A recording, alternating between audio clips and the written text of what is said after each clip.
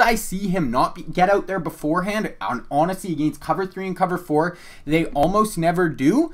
Then we're just gonna pass lead that out and away towards the sideline, fire that in. That's like a 17 yard gain. Thing that you say about me, my dogs like to play in 2K, but one thing they don't do is play about me. My homeboy Tyler, he playing South. What is going on guys, King Reggie and we are back today. We are continuing that Trips tight end inspired offense out of the Kansas City Chiefs playbook.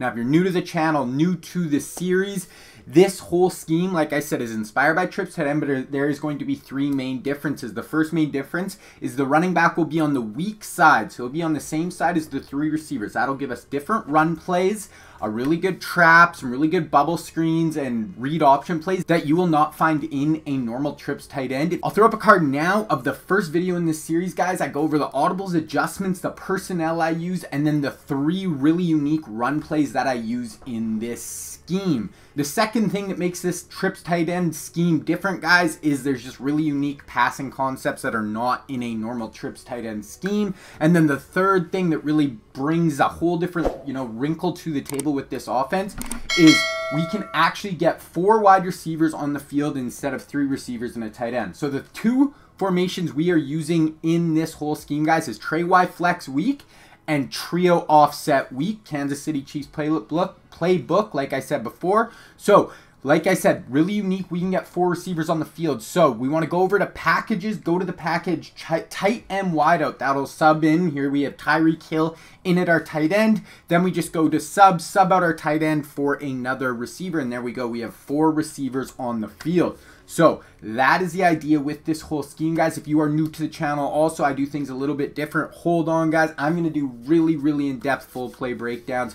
I try to go way deeper, give you guys way more information than most people, and we're to have real gameplay footage of me showing you this actually works against real opponents. So, the play we are going over today is PA Vert, a really, really good play to attack zone and man coverage. I'm to have two different setups for you guys. Let's get into the first one. All right, guys, PA Vert setup number one. Now, if you guys are new, I do a screen like this for basically every play I put out. Basically, the idea is you guys can come back on the screen whenever you want, pause the video, go in practice mode, bring it up in a game if you need it. It'll show you all the adjustments, our reads versus man and zone. Sometimes on certain plays, I'll also be like, cover three, we're going to go here. Cover two we'll go here. This play, we're going to read it the same versus man and zone. Real quick, with this play, not all my plays, but with this one, we will need abilities. So we will need Hot Route Master to do this play. I go over it my first video in the series, guys. I use Hot Route Master a lot of the time, and for this scheme, I do use it. Not all my plays will you need it, but this one you will. So, the adjustments, trips to the wide side of the field for setup number one. We want to put the middle receiver on the trip side on a corner route. That That is one of the hot routes. Put them on a corner route. Then we want to put a, a streak on the inside most receiver on the trip side. Then the outside receiver, we want to put on a drag in motion across the field. And then we want to put a post on the tight end, who we have as our fourth receiver, on the single side, you know, receiver side. Now our reads versus zone, we want to look to the corner route if the flat defender doesn't get outside of that player throw right after the break worked really, really well against cover three and cover four. Not as good against cover two, but cover three and cover four, guys. I'll show you guys on the field, but this is absolutely going to destroy it. Then the second read, if the user leaves to the middle of the field, throw the backside post. So a lot of the time when they see this motion, they are going to hop out to that corner out because we hit it a lot of the time. Then we have the backside post in the middle of the field. And then if both those are covered, then we just have the drag underneath. Reads versus man. I won't come back to this screen. I'm just, I think I only have one or two clips against man. Basically, the corner route, I go over this a bunch in my videos, guys. These corner routes, I have route tech on this player, another ability that I tell you guys I really like to use on this player. I go over that in the first video.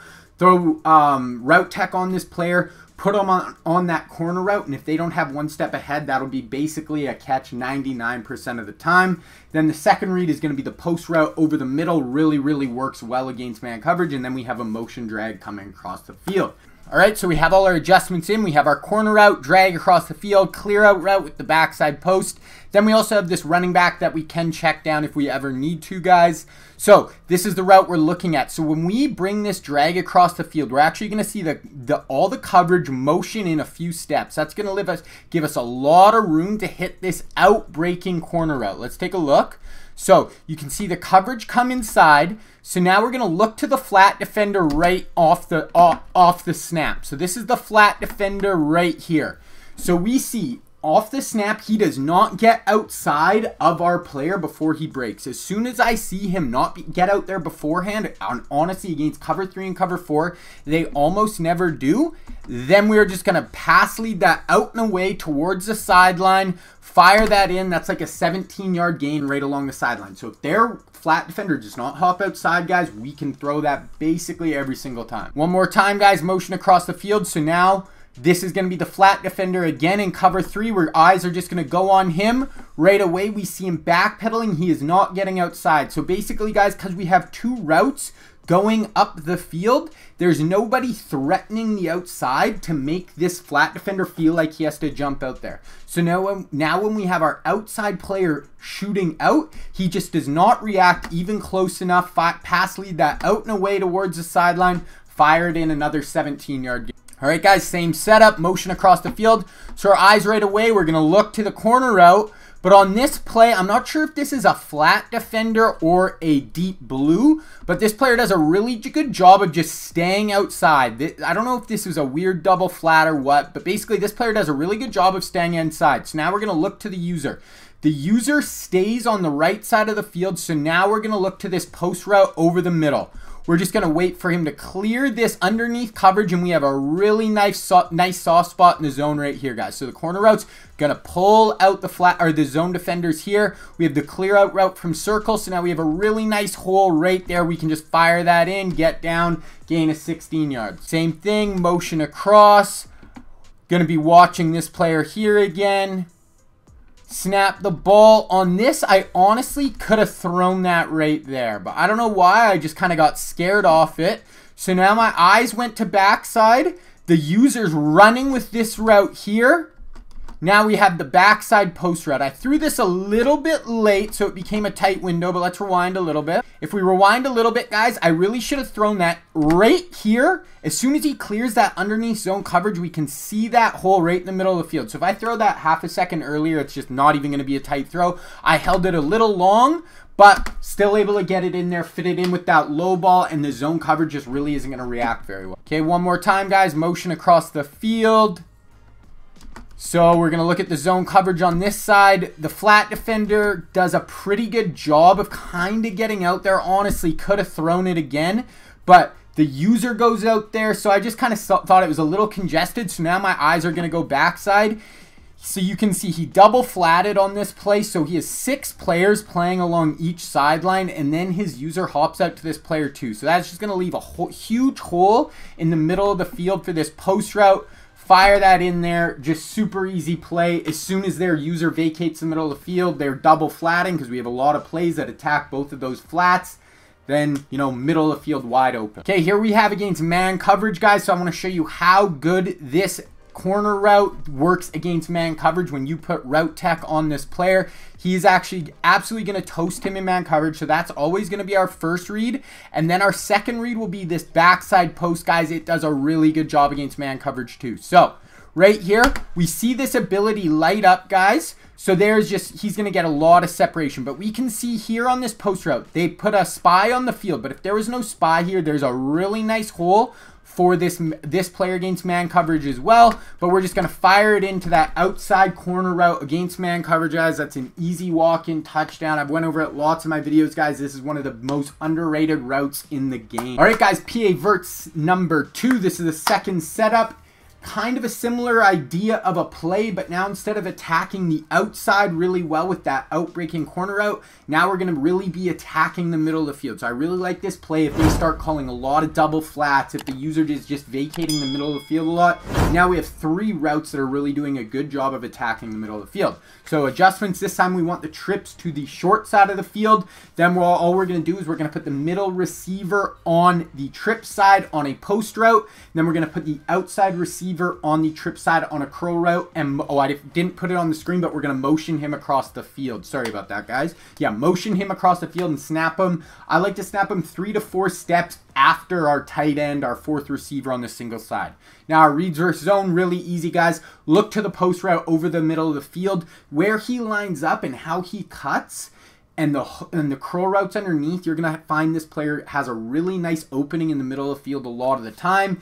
Then basically, if that's covered, we're going to look to both cor- our curl routes in the middle of the field. They they have a nice separation on them. A lot of the time, they'll both be open and just throw to whoever the user doesn't go to. And then our third read is just check down to the running back underneath. Our reads versus man is going to be the post route, and then we can just low ball to either curl route. Okay, let's look at this setup. Okay, here's our setup, guys. We have that post route. Here's the player we're motioning across the field. We have a really unique curl route that's going to just sit in a really nice soft, nice soft spot in the zone, guys. I like to leave this route on the field. It's just a nice clear out route. It's going to get the flat defenders wide and then push people upfield. And then we have the curl route just kind of breaking in underneath him. So, motion across the field. Here we go. Right off the snap, guys, we can see a really nice... So they bring a bit of a blitz. So now it's going to be the user. If he... We're kind of putting him in a double read here. If he sits with this curl route, we're going to hit the post behind. If he goes to the post, we're going to hit the curl. So he goes with the curl route. We had the wide open post in this really nice soft, nice soft spot in the middle of the field, beating the blitz, fired in there. Same thing, motion across the field. Going to be looking to the backside first, the short side of the field. Going to be looking to the post route. So on this play, the user goes to the, you know, there's through kind of the flow of the play is going to go that way. So a lot of the time the users are going to go that way. The this player is just in a really nice spot when he cuts over the middle of the field. This is another, you know, hook curl route that or hook curl that's getting taken by this curl route in the middle of the field and we can just see this huge hole for this post route backside guys. Really like to lowball it that in there. It's just a super quick and easy dot. Okay, same thing, motion across the field play action. So right here, we could have hit the post route really, really early, but I just didn't really love it. I probably should have thrown that right away, but now if we let we leave that, now we're just going to look at the two hook routes, the two curl routes in the middle of the field, guys, and we're just going to read the users. The flat defender really never covers this route, and then if the user doesn't play on this route, it's going to be open a lot of the time. So now we're just going to pick our poison. The user kind of just plays in the middle of it. We're just going to low ball that into that that motioned over curl. Same thing, motion over the curl route Look to the backside post. This player drops underneath it once again. We probably could have thrown that backside post. Like I'm telling you guys, it is open a really good amount of the time. But when I see the user hop way out there, that just makes me kind of just be like, okay, I'm probably not going to throw that right now. So then we have the clear out route. We see the flat defender, guys. He just gets too wide. This curl route just does a really good job of sitting in between flat defenders and the you know curl the uh, yellow zones in the middle of the field by the linebackers. Then we also have the running back that's just gonna you know help pull these flat defenders down, low ball that into that curl route again. Motion over, play action. Once again, probably could have thrown that post route right there.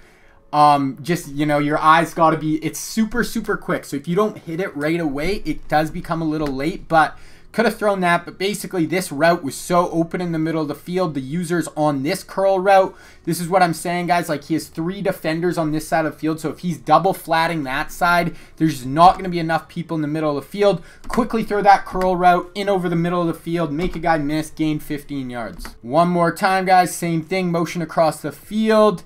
Here we go. So on this one, they do a much better job of getting under the post route, so not open now it's just looking at the user. So which curl route is he going to? He goes to the outside curl route. So now we have that middle curl route right in the middle of the field. Low ball that in. That's a gain of 10 yards down to like the three yard line. Okay, one more time against zone coverage, guys. Motion across the field. So on this one, this player here does a really good job getting under the post route. Could have maybe hit it later could have thrown the low ball, but this player did a, did a good job of kind of just circling all three and just making me kind of nervous to throw any of them. So at that point, guys, we can always just check it down to this running back underneath, make a guy miss. Really, really easy read. It's a really nice check down, guys, and also it's just going to pull down those flat defenders. All right, guys, one more time, I just want to show you this play against man coverage. Now, I will not call this play a ton when I know they're running man coverage. I prefer the other setup better.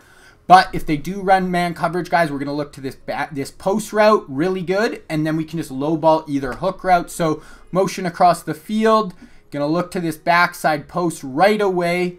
Basically on break, we can just low ball that in there, but we could have also low balled to either of these hook routes. Hooks are good against man coverage, not always great, but they work pretty good. And then we just have that backside post route that does work very well. All right, guys, that is it. That is PA Verts. Really good play. Like I said, against man and zone coverage. Does a really good job of attacking both the sidelines and the middle of the field. I hope you guys are enjoying Trip, this, you know, Trips tight end inspired scheme. I'm having a lot of fun with it. I think it is super, super powerful and just very unique. If you guys really like Trips tight end, but you just kind of get bored of running the same old setups. I, you know, my all my stuff is I I think is very very unique. So, thank you guys so much for tuning in. Do not forget to sub sub to the sub to the channel right now. Leave a like on this video. It just helps me, you know, get my name out there. I want to keep making these videos. I got to grow to make them.